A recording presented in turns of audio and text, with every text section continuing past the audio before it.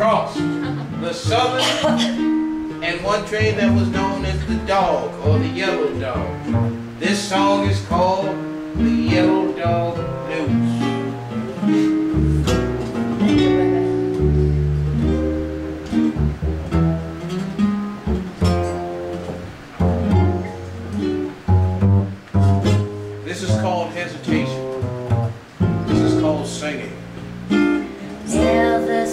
Miss Susie Jordan lost her jockey lead, there's been much excitement and there's more